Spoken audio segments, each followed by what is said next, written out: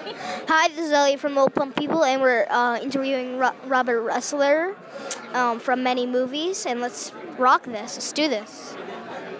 Hi, Robert. How y- how are you doing today? Good. I'm so glad to be here with you. Me too. Can can you tell us a little bit of you about your uh, acting class in Hollywood in the Hollywood Playground in Santa Monica, California? Oh, I'm glad you're asking me about that. Yeah, I do an acting class called the Hollywood Playground, where it started out, interestingly enough, where, you know, I'm I'm venturing out and directing films now, and my wife suggested, since you're going to direct films, why don't you go out and start directing actors? And I thought that that was a really great idea, so I got this little class together, and it's turned out to be a little blessing in disguise because the class has evolved. I've been going for now four years, and I've had fantastic guests, you know, relationships that I've developed over 30 years of my career. And I've had guests like Josh Brolin, David Arquette, Matthew Perry, Mike Binder, Keith David, Clayton Rohner. I mean, the list goes on. And we even had Academy Award director Stephen Gaghan come out to the class. So it's a great opportunity for the students to learn from the horses' mouths. What is one of your favorite movies or shows that you were in? Well, I got to go with the first movie, Weird Science. I mean, it was so much fun and so exciting. First of all, to work with such an iconic director like John Hughes, who is a staple of the 80s, and to work with guys like Anthony Michael Hall, Robert Downey Jr., Bill Paxton on my very first film is just unforgettable, and it set a tone for me for the rest of my career to keep a good work ethic and to be grateful for my job. Do you still skate or surf? What do you like to do when you have free time to just relax? Well, absolutely. You know, I live in Santa Monica, California, and I live literally walking distance from two killer skate parks. So I have three sons, and they like to skate, they like to BMX, and we like to surf. And I live probably about three minutes walking distance from Santa Monica Pier. So there's all kinds of great surf spots where I live. So yes, I do. I surf religiously. I still skate, not like I used to. I try to stay away from vert, but I mean once in a while I still got to hit it.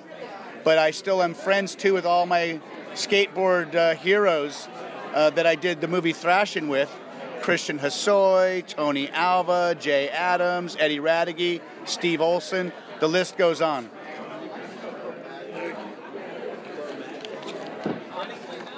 What was it like going to Iron Man's birthday party? Can I go with you next year? Well, I'll have to ask Robert Downey Jr. about that. But I took my three sons, and they absolutely had a blast. I mean, Robert Downey Jr. knows how to throw a party, man. Let me tell you.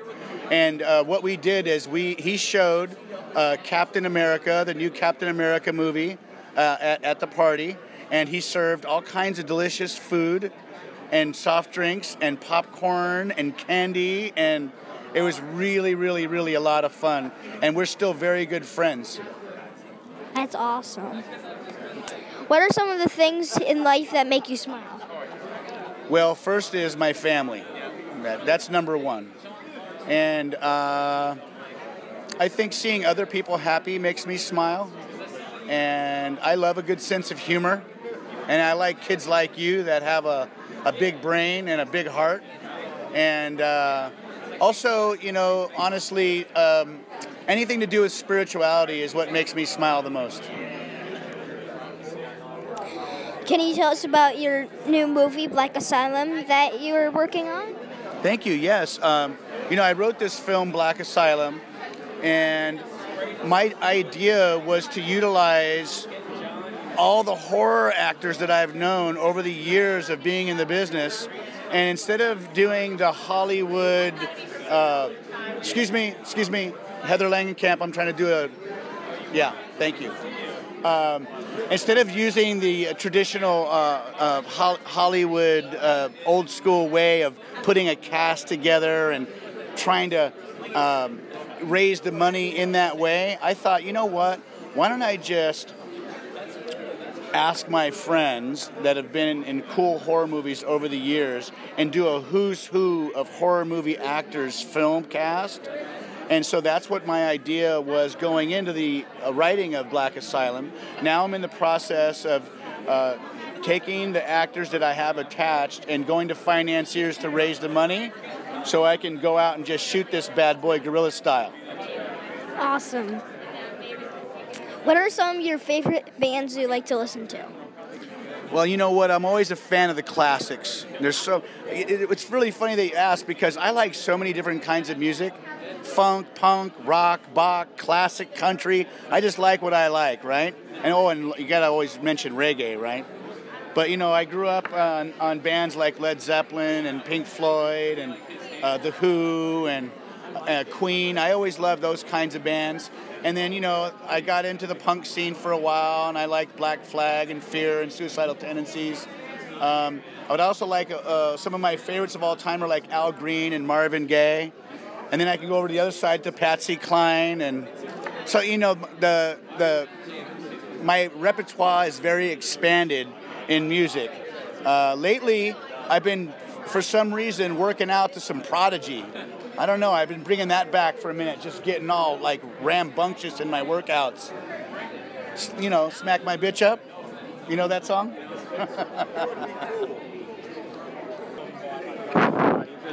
Okay, here's some fun stuff. Marvel Comics or DC Comics? Marvel.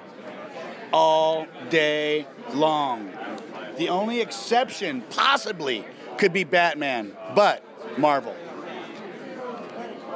Science class in school or Weird Science the movie? Science class in school. Weird science right after. Skating or surfing? Surfing. When there's a perfect wave, there is no comparison to the adrenaline rush and the fulfillment of surfing. Nightmare on Elm Street Part 2 or Part 3? Or what? Nightmare on Elm Street Part 2 or 3? Nightmare on Elm Street Part 2. Part two, bro. Disco dancing or lift weight or lifting weights? Disco dancing or lifting weights. Is it possible to do both at the same time? Probably. nice. I'd have to say disco dancing, man. Disco's back.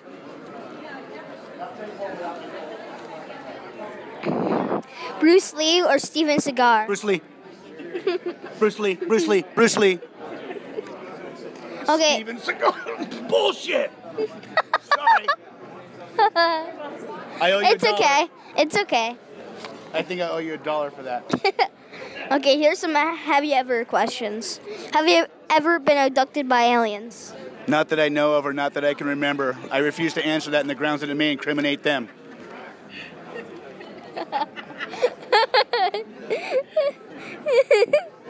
Have you ever seen a real ghost? No, I have not. But do you ever really know? No. I've had the feeling that I've seen some kind of apparition before, but I've never really admitted it because I thought people might think I'm crazy. I I say that kind of stuff and people think I'm crazy. Have you had an out of uh, an out of body experience? Actually, I have. I was meditating in um, my martial arts class when I was about your age, and I could feel myself uh, flying over a mountaintop, and that is sort of like a, uh, a byproduct of deep, deep meditation. Um, I think I also have had body experiences when I was close to death. Uh, I almost drowned one time surfing in Mexico, and I saw my life flash before my eyes, and I was at peace. And then I felt a hand grab the back of my wetsuit and put me on a board and save me. And there was another time when I was drowning in the Colorado River. I actually was uh, inner tubing with a bunch of friends of mine, and uh, we had all of our inner tubes tied together, and there was about 12 of us going down the rapids, and my inner tube uh, uh, broke free from the pack, and I got caught upside down between these two tree branches that were protruding from the water, and I was stuck upside down, and I, I knew in my mind I was going to drown, and I remember having an outer body experience, and I let all my breath out and I relaxed, and some kind of superhuman strength came over me, and I broke this branch that must have been about four inches thick. There's no way I could break it with my regular strength. I don't even think two men could. But because I trusted and I relaxed and my mind sort of focused on something outside of myself, I snapped that branch in two and I came tumbling to the side of the water and I lived. That is crazy. Have you ever seen a shark while surfing? Have I ever seen what? A shark while surfing. No, I have not. The closest I came to seeing a shark while surfing, I was surfing in Mexico, and this gray figure flashed by, and I freaked out and lifted my foot feet up onto my board, and all of a sudden I saw the water break and these teeth come out, and I flipped out. You know what it was? What? A dolphin. yeah, and it scared me to death. But obviously, the dolphin didn't do anything to me, and they're friendly. And usually, when dolphins are around, usually that means there's no sharks around. So, Is there anything else you'd like to add? yeah, I just want to say that being here at Scares That Care weekend has been really cool, and I love anything to do with helping kids. I love kids. You know, I have three sons myself. Johnny Ray's five, Gnarly Charlie is eight, and King James is nine. And I am very involved in their school. Uh, I'm involved in charity work, um, Make a Wish Foundation, Mark of, March of Dimes. There's a lot of things that I like to do when I give back. I mostly like to give back to kids, and that's why doing this interview with, with you has been the highlight of my weekend. You're a good kid. Thank you. Thank you so much for this amazing interview. I'm so happy that I got to do this. Well, that sounded like you really meant it. How genuine. I really did mean it. Thanks, buddy. I appreciate it. Thank you so much. All right.